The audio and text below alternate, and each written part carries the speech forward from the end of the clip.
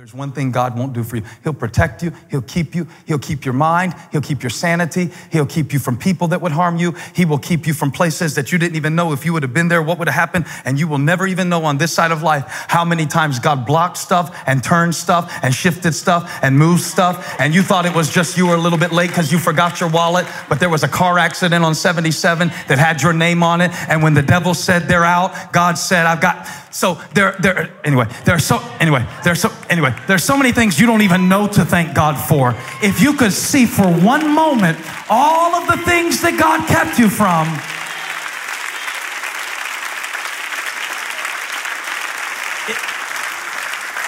Listen to me, Blakeney. If we ever got a revelation of what God kept us from, it would be a bad day for the worship team. Because all the worship leaders wouldn't have a job. Because we wouldn't even need them. Because we would lead ourselves in worship. Because we would walk in the door and we would walk in the door clapping and shouting and rejoicing and praising God. But sometimes we don't see all the things that He's kept us from and brought us to. And now we're at this place and God has protected us. Yeah? God has positioned us, absolutely. And God has prepared us. But there's one thing He won't do He will not possess the land for you. And here's the word of the Lord I will go before you, but I will not go for you. Your faith must make the step. Your faith must make the step. And most of them never did. Now, if they had gone in, they would have seen that the giants that were still in the land were left there on purpose. That was always confusing to me. God said, I'm going to be an enemy to your enemies. I'm going to oppose those who oppose you. And when you get to the land, I'm going to start driving them out. I'm going to chase them away so you can inherit what I have promised to you. But then he says, I'm not going to do it all at once. I'm going to do it like the frog, little by little. I'm gonna do it. Little. Well, wait a minute, God. If these are giants who can kill us and cause us to worship other gods, shouldn't you get rid of them as soon as possible? Come on, I mean, wouldn't it make sense that if God wants something out of your life, He would take it out right away? And maybe this is just me, because I grew up in churches where they said, if you will pray this prayer, Jesus will come into your heart and He will take away your fear and He will take away your pain and He will dry every tear from your eye. And then I cried that night and I couldn't figure out where did that Kleenex go, that cosmic Kleenex that Jesus was going to bring and wipe every tear from my eye? I couldn't figure it out because I was expecting sanctification to work like salvation. When Jesus saves you, He does it all at once. He doesn't set you up on a 30 year payment plan. Salvation is not a mortgage. When He comes in, He comes all the way in. And for those of you who have received His grace, let me tell you something that's amazing, that's amazing. Get ready, shout, lean on the edge of your seat. You will never be more forgiven than you are right now. You will never be more loved than you are right now. When he forgives you, he forgives you completely, immediately, fully, without qualification. There is no corner of your heart he didn't see when he sent his spirit to live within you. You will never be more forgiven than you are right now. But there is a difference between forgiveness and freedom. Forgiveness happens all at once. Freedom happens little by little, by little, by little. And it's often so incremental that you don't even think it's happening. This is for everybody who's 40 and thought you would be smarter than you are right now. and you keep doing dumb stuff that you've been doing all your life. And you still feel, I'll to the back row. I don't need any love. You're doing stuff right now that you were doing at age 14, and you got your own 14 year old. And you still feel like a little kid yourself. It, it happens to, to it, it happened to Paul. Paul was that great apostle. Have you heard of him? He took the gospel to the Gentiles. What God started through Abraham, he continued through Paul. He, he, told Abraham, he said, I got an assignment for you. All the nations of the earth will be blessed through you.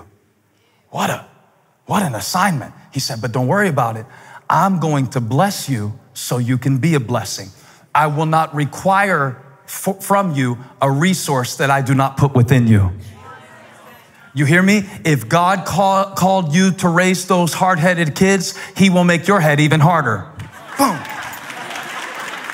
You met your match now. Because God gave me, God gave me a cranium that can withstand all of your craziness. Now, God gives him the assignment and he gives him the assistance. And Paul, in many ways, was graced. He, was graced to be able to speak eloquently. He was graced to be able to preach to the diaspora of the Jewish tradition that he himself came from. But one thing about Paul, he couldn't understand. He couldn't understand. There was something in his life that he expected God to take away that God left. You got anything like that? Y'all are looking at me so weird right now. Maybe you're beyond Paul. I would understand if you were holier than Paul. That would, that would make sense. But Paul was struggling. He hadn't quite arrived to your level of spiritual development and maturity. Paul said, there, there was something that I asked God to do for me that he would not do. Now, if you want to know what it was, Paul's going to disappoint you because he refuses to name it by name. And I'm glad he didn't name it by name because if he would have said it, I couldn't relate to it. But the fact that he used this image, and I want to read it to you now, Second Corinthians 12, 7, it means that whatever is left in your life, whatever is left in your life that you have been blaming on the devil can be used by God to fulfill his purpose for your life. If you got anything like that, wave at me so I can see the seven people that God gave me this message for. Paul said, I, I, I was ascended to the third heaven. I saw things inutterable. I was used by God in ways that are astounding, in fact, beyond human vocabulary. Therefore, now watch this. This is crazy. He says, because of that level of blessing, God gave me an equal burden. Because the greater the assignment, the greater the adversity. The greater the assignment, the greater the attack. So Paul said, God took me up so high and showed me so much that there had to be something in my life that would keep me grounded to His grace. He doesn't name it by name, He doesn't need to because He knows you have your own. So He simply says, therefore, in order, here's the clue, to keep me from becoming conceited. There was something that God gave Paul to keep him in a space called grace. So that he would never forget who led him along the way. So that he would never forget who brought him out of bondage and darkness into the marvelous light. God said, I'm gonna, I'm gonna leave some stuff in your life. And so, in order to keep me from becoming conceited, there was given to me. Sounds like he's about to get a new car, right? He gave me, gave me. That's got me in the mindset of a gift. What did he give you, Paul? Did he give you a house? Did he give you a promotion? Did he give you a blessing? No, no, no. He gave, Paul said, one day the devil showed up on my doorstep with a package and it had a bow on it. I was, I opened the package and in the package was a thorn. Now, it was a gift, but it didn't look like a gift. It was a gift, but it was wrapped in something that looked like pain. I was given, watch this, a thorn in my flesh. Was it a sickness? Was it a temptation Paul had? Was it people talking about him and he couldn't shut them up? Was it Facebook? Probably. And he calls it, this is crazy, a messenger of Satan. how can he refer to it as a gift if it came from the enemy? It was sent to torment him. That was the devil's intention to torment him. Paul said, God took what the enemy intended to torment me and used it to transform me. So the enemy's tools of torment become God's tools of transformation. And now I get it. Now I get Exodus 23 because it's not just the angels that God sends ahead of you that he uses to bless you. Those are wonderful. It's not just all of the promotions and it's not just the prosperity and it's not just the peaceful situations. It's not just the yeses. Sometimes God uses the no's to lead you to a greater yes. God said, No, I won't take it away. But yes, I will give you so much grace that you will be stronger than it and you will discover a power that you could have never known if you didn't have a problem. But he said to me, My grace, everybody shout grace. Shout grace, don't mumble, shout grace. Shout grace like you need it. Shout grace like you can't make it without it. Shout grace like it's not just something you say before you eat. Shout grace like you live by it. Shout grace like He died to give it. Shout grace like you know it's the avenue of blessing.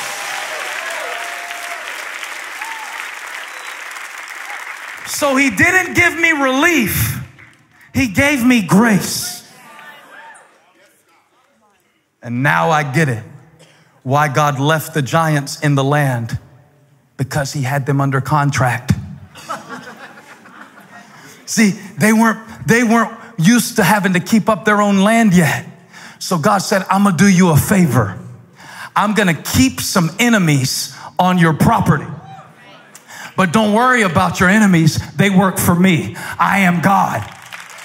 So, well, it's good to me. It's good to me. It's good to me. Would it be bad if I downloaded this podcast myself? He said, I'm gonna leave some things. I'm gonna leave some weaknesses in your life. Take it away. No, I'm gonna work through it.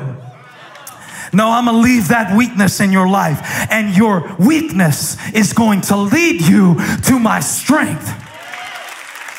God says, sometimes I drive the giants out. Sometimes I let them stay and I give them a job. Sometimes I use the devil to deliver my mail. Sometimes I use adversity to create an advantage in your life. Sometimes I take what people meant for evil and use it for good because I'm God like that and I got your back and I'm already there.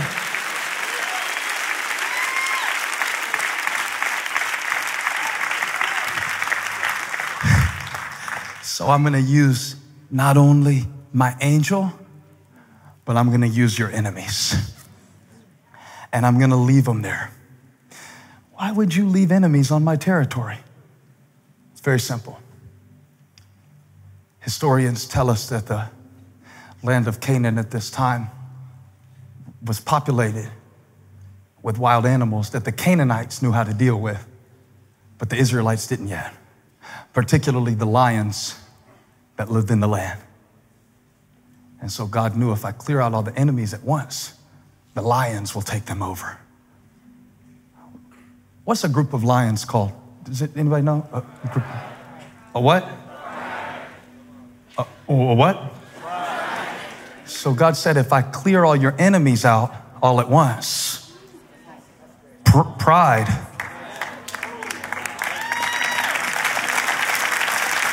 will take over.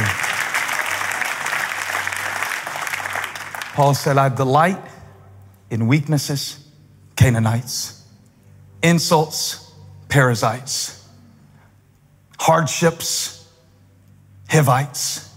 Don't you see it? Paul said, I'm glad for my giants. Wow. I don't just thank God for my angels, I thank Him for my giants too. They taught me how to fight they built my faith.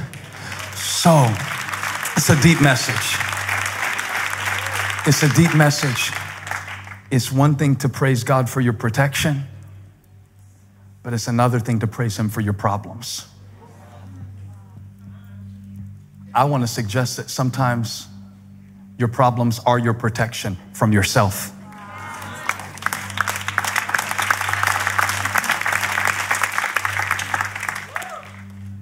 You've had an addiction all your life and you've asked God to take the desire away, and He won't. Why? Because I want you to need me. And I want you to choose to serve me. I will not force you to be free. I want it to be your decision. So I'm going to leave some things in your life that I know you want me to take out. But I'm not sending you into the fire alone. I will be with you to deliver you, and I will protect you, and I will prepare you, and I will position you, but I cannot possess it for you. Only you can possess this place. Only you can do it. I can preach to you these principles, but I cannot possess them. No one can do it for you. Stop expecting for God's deliverance to be sudden. The greatest gift God can give you is gradual change so that He hides you from your own progress to prevent your pride. God doesn't even want you to know you're growing. He wants you to trust His grace. And that's why God said to Paul, I'm not going to give you the gift of relief. I'm going to give you something greater grace. It looks like a thorn, but it's really grace. The devil might have dropped it off at the doorstep, but I'm the one who addressed it to you. And no, I won't drive them all out. And no, I'm not going to make it easier. You know what God won't fix? Your attitude. He'll give you His Spirit.